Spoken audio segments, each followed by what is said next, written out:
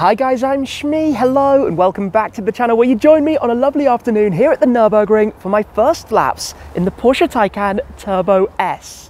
Now we've had quite the EV adventure with the Shmeemobile heading all the way from London to Munich and back up here to Nürburgring where tonight is Touristenfahrten, the tourist drives and an opportunity to experience what this is all about. Now it's going to be quite a busy evening. There's been a race today, there are a lot of people around and the weather is on side, but there are a few things about the Taycan that leave me slightly anxious. The first being that this is a 760 horsepower electric car. So how is the state of charge going to hold up during some laps? The second is what about the temperatures and potential risk for overheating of the batteries and the motors? And finally, what about the tyres? Because this is by no means a lightweight car. Nonetheless, we're going to be heading out in a moment, getting everything ready to experience the Taycan here at the Green Hell.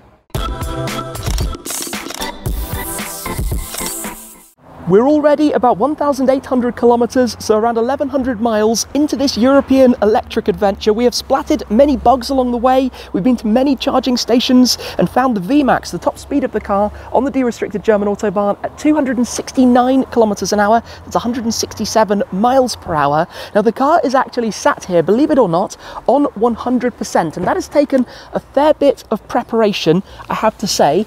If we just wake it up quickly, we have 100% and officially 278 kilometers of range, although I guarantee that will not be the case when we start putting the foot down on the Autobahn. Now, the reason I say it took some preparation is the nearest rapid charger is about 30 kilometers away. So by the time you get here, you're on about 90%. There aren't really any fast chargers at all here in Nürburgring. So I've had to leave it running for quite a few hours on a regular main socket to get it to 100% to ensure we can do as many laps now as possible. But I think the session is shortly to begin. I've slightly lowered my tyre pressures, but I'm going to be keeping quite the eye on those. We have the massive carbon ceramic brakes on the Taycan Turbo S, and of course we've got the lovely gold wheels, green, midnight green wrap, the extra carbon from Xyrus Engineering, and I think all said and done, it's time to hop on board and take this over to the entrance of the Green Hell. As expected, it is very, very busy. We're currently in normal. I'm going to put this into Sport Plus. We'll get the lovely electrical whirs. We are currently on 98% battery, Question is, how much will we have at the end of a lap? I reckon maybe 35% less. Let's find out. So, foot down. this thing is so crazy fast as we're out now on the Nürburgring Nordschleife, the North Loop. Remember, Touristenfahrten is, of course, tourist drives. It's a public toll road, effectively, overtaking only on the left. It is not a race. There is no prize. There is no timing. It is a public road always just like to remind that it's about having fun. And I think that's what today is going to be. Having now done quite a few laps recently on the sim back at the Shmuseum. The electrical whirs are so cool. God, the instant power and torque is mad. Heavy on the brakes as we come through Sabine Schmitz curve, the corner named after her. There's a lot of traffic around today as we snake our way through.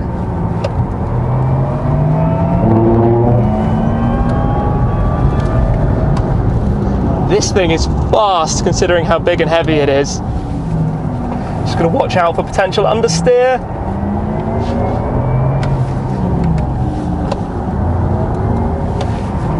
So letting me know that the brakes and their cooling playing up just a little bit.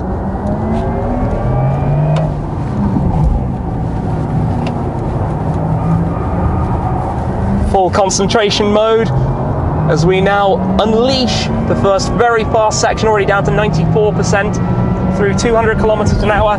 Woo, jumping around a little bit. The numbers get crazy, crazy high. This is very, very fast, but obviously without the sound of an engine running up through the revs, you don't have anything like the same sensation, just that I'm driving a very fast, very heavy car and all of a sudden I'm very aware of quite how heavy it is as well. Watching out, making sure we're good for the brakes. We've got the big carbon ceramics, but there are still, as I said, a lot of cars around, some very, very technical and tricky corners here at the Nordschleife as we come through Aremberg now. Tyres squealing away. Wow, that speed through there was actually really quite quickly. This is effectively a one direction highway toll road open from time to time 200 plus kilometers an hour. I'm just going to back it off just under to go through the foxhole. Very aware of let's say the lack of aero in here compared to some of the cars that i'm more frequently driving around some of the other Shmeemobiles feeling the car moving around the way it delivers power is totally bizarre. I've done an EV lap before in the Polestar 2, but obviously never in my own EV.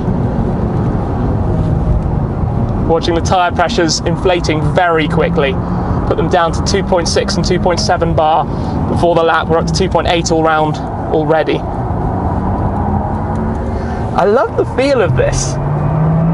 It's obviously much more connected than my experiences of taking Teslas on track, being a Porsche. They did a lot of testing and development work out here, and in fact, in lap record conditions, obviously with closed track, you're not allowed to time on Touristenfahrten. They actually did a 742 with a pre-series car, which is not all that bad as we come around the Miss-Hit-Miss.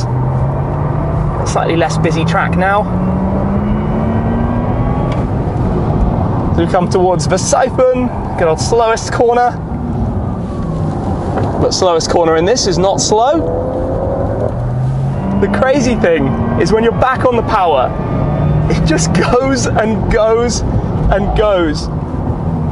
Watching the line through here, as we come now to Bergwerk, very heavy braking zone. We've got a bit of regen going on as well.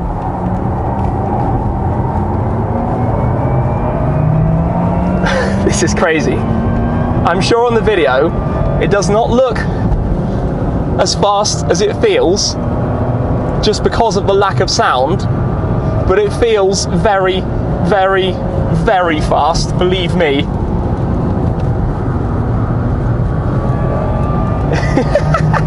Quite a few minis out today.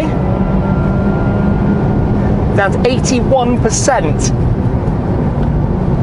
That's going down very, very quickly. The interesting question is will we be able to do a full second lap without having to charge up? I wonder what the answer to that is going to be very shortly. This is man. I'm starting to get a little bit more confident with it. The dynamics feel very, very different to driving in most cars that I'm more familiar with driving. As we come now towards the carousel, at the top after Steilstrecke. Lots of cars up ahead. Every corner. It's so quickly back on the power. It's so busy here at Carousel as well. Good, we're not scraping. I was slightly worried about that.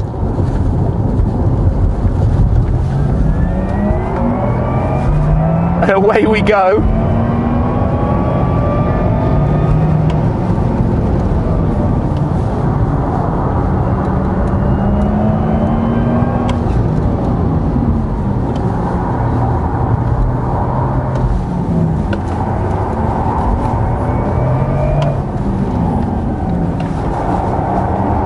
There are very different noises going on. The electrical whirs mixed with a lot more tyre noise than you would normally be listening to. As we haul this gigantic lump of Taycan around the Nürburgring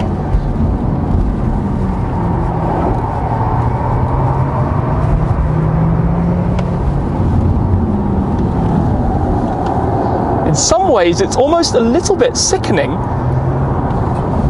not having those traditional sensors from it.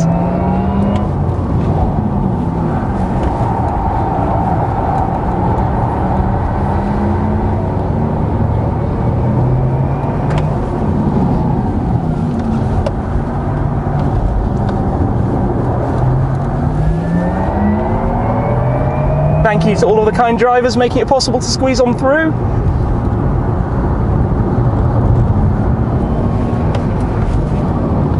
Little jump. To be honest, it actually rode that very cleanly. The suspension pretty much absorbed the entirety of it. I'm more familiar with much, much stiffer cars around here than this. To go over the next little drop there. They're a very, very fast segment of the Nordschleife.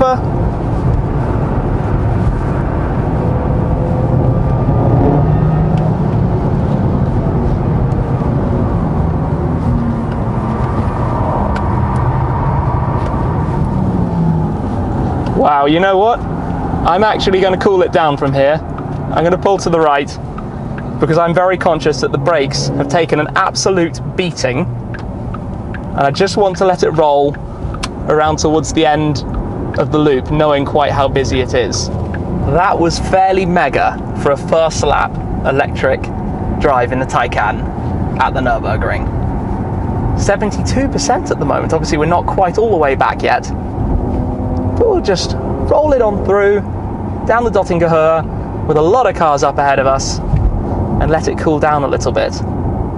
We've got three bar all around, 3.1 in the rear left. Those got very high in terms of pressures very, very quickly. Hence why it felt a little bit like it was floating around towards the end and a little bit understeery as a result. But what a cool first lap. Let's take a couple of minutes and get ready to do it all again. There's a lot going on here, but now that the main car park has opened back up, this is where we pulled in, and I'm gonna try and do this without getting squished by the M3CS parking. it's very, very busy. We need to get these pressures down so that we can go and do this again. Um, at the moment, as we said, just over three bar, which is mad for this kind of thing. 2.9, I'm gonna take it down to 2.7. Do this all around. and then we'll go in a moment and do it all again. We head out again then, lap two, this time starting at 71%. We shall see what happens, but foot down, it is just absurd how quickly this thing accelerates up to, let's say 200 kilometers an hour or so, and then obviously runs out a little bit, but that instant go is where it's quite, oh, as we feel the compression there, is where it's really quite impressive. Firm on the brakes. I tell you what's behind me though is a Solarbeam GTR Pro that I'm letting straight through. I cannot wait to have my Solarbeam GT Black Series out here. It's not going to be long until we can see that. But the colour looks so cool, especially in the evening sun. So we meander through the corners here.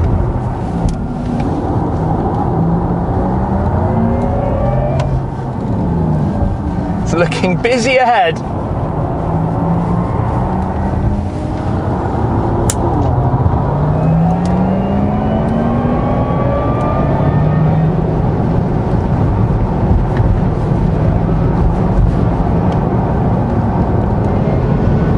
This is one of the fun things, right? There's so many different cars. People have come from so many different places to drive here on the most grueling track in the world, the most famous track in the world, the Nürburgring Nordschleife, which you can drive as a public toll road. Now we've got the tyres saying they're slightly underinflated at the moment. That is not a surprise.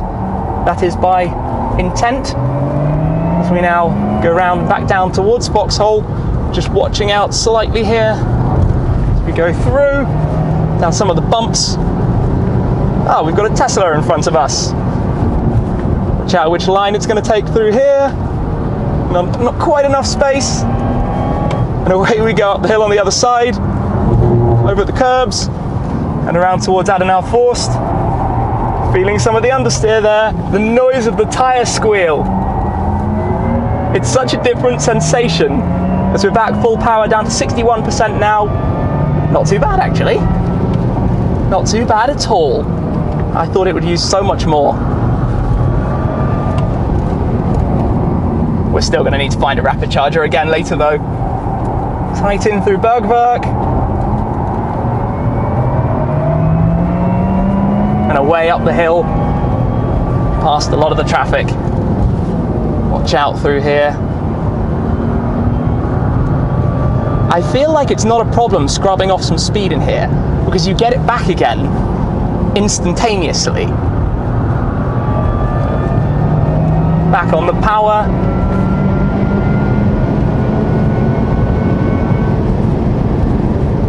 It's so fast. I've also got to remember that I am not driving the GT4 Club Sport that I've been driving on the sim, which is so close to reality, it can be a little bit, sometimes confusing, what you're actually doing. But in here, we are in the Taycan. It is not a small, nimble, track prepped race car. So watch out what's happening here. Supra in front of us, of course, through the carousel. Round the concrete blocks. Never really any time to be gained there.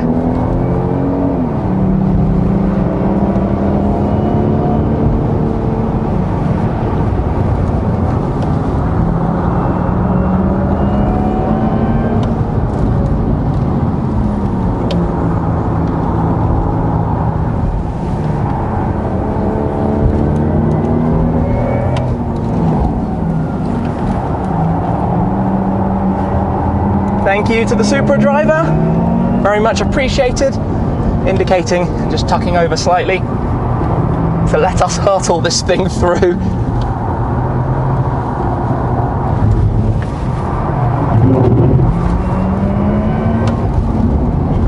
Oh, this just absolutely flies through here. Oh, we jumped there. Little bit of understeer, gotta watch out for that one bright sunshine. Can't really see much. Awesome. Around Galgenkopf we go then, the final corner, and there we have it for today. We're on 48%. I am amazed by that. We only used 24% on the second round, which makes sense because there were a few slower sections, yellow flags, etc. So we've only gone through 51% to do two laps decent pace around the Nürburgring. It's not gone completely crazy and overheated. The tyres are certainly at the hot end, no question about that. But this is where we can pop it back into normal if we wish. Nice, gentle, quiet, calm roll back towards base. Two very enjoyable laps in the Taycan Turbo S at the Nürburgring. We're back and immediately into the barn at Apex to plug the Taycan in to get it charged up. We've got the charger plugged in on the other side at the moment, thanks to their electricity. If I just quickly wake this up, we've come back as you can see, with 47% charge, now charging up at 9.88 kilowatts, which is not the fastest in the world, but 47% is a decent amount left. To be honest, it is enough when we've topped it up another 5 to 10% to get to the rapid charger we're intending to use on our next leg of the journey. And that was really quite impressive, more so than I expected, to be honest. Of course, we didn't have any overheating issues. We haven't used anywhere nearly as much charge as I feared we might end up using. Tyres held up well, and to be honest, you can tell that Porsche clearly designed, engineered, and tested these to be driven hard. After all, it is wearing a Turbo S badge, despite not having a turbo, and that is one that I'm sure the debate will rage on about pretty much forever. But in terms of performance, it delivers. It's very, very fast, very capable, and despite being a very heavy lump, was actually pretty nifty around the Nürburgring. A lot of fun, even though it was very busy out there today, as expected, but always a great time. And now another Shmeemobile that has done its first laps here at the famous Nürburgring. That's it for now though. Thank you very much for watching. As always, guys, I appreciate your support. As always, I hope you've enjoyed these laps with the Taycan, and I'll see you again very soon. Cheers.